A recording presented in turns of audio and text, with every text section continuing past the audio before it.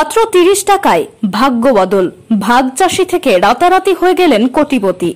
অভাবনীয় এমনই ঘটনা ঘটেছে হরিশ্চন্দ্রপুর থানার সাদলিচক গ্রাম পঞ্চায়েতের সূর্যাপুরা গ্রামের বাসিন্দা মেহবুব আলমের সঙ্গে।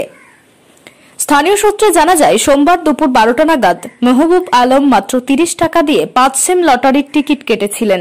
আর তাতেই বাজিমাত।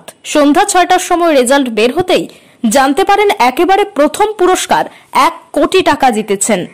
দিন আনা দিন খাওয়া মহবুব ভাগচাষী থেকে হঠাৎ করে কোটিপতি হয়ে যাওয়ায় নিরাপত্তার অভাব বোধ করছিলেন। তাই তিনি তড়িঘড়ি লটারির টিকিট নিয়ে কুমেদপুর পুলিশ ফাঁড়ির সহযোগিতায় হাজির হয়েছেন হরিশ্চন্দ্রপুর থানায়। মহবুব আলম জানান, তিনি একজন ভাগ চাষী তার ভাঙা বাড়িতে স্ত্রী ছাড়াও এক ছেলে ও দুই মেয়ে রয়েছে।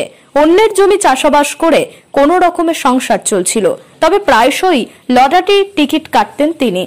দিন বদলের আশায় এদিনও তিনি মাঠ থেকে ফেরার পথে কুমেদপুর লটারি এজেন্সির টিকিট বিক্রেতা সেন্টু রবিদাসের কাছ থেকে মাত্র তিরিশ টাকা দিয়ে ডিয়াল লটারির টিকিট কাটেন। ভাবতে পারেননি, ওই তিরিশ টাকার লটারির টিকিট তার জীবনের চাকা ঘুরিয়ে দেবে।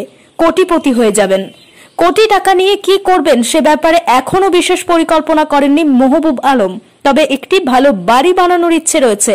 এছাড়া ছেলে মেয়েদের ভালোভাবে পড়াশোনা শিখিয়ে সমাজে প্রতিষ্ঠিত করতে চান তিনি।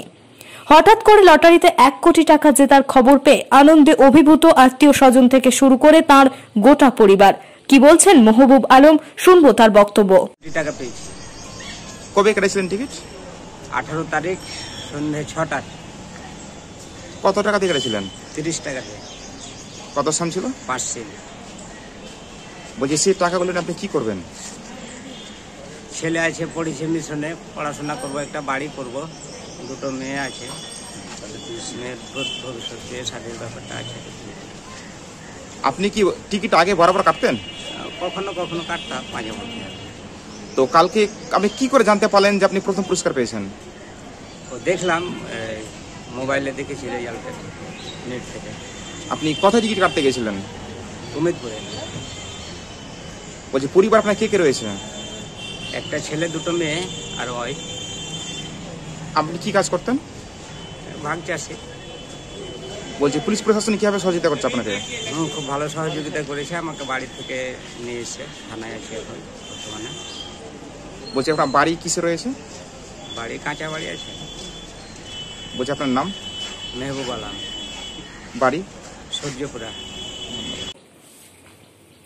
মালদা থেকে অশ্বিনী গুপ্তার রিপোর্ট আমাদের টিভি।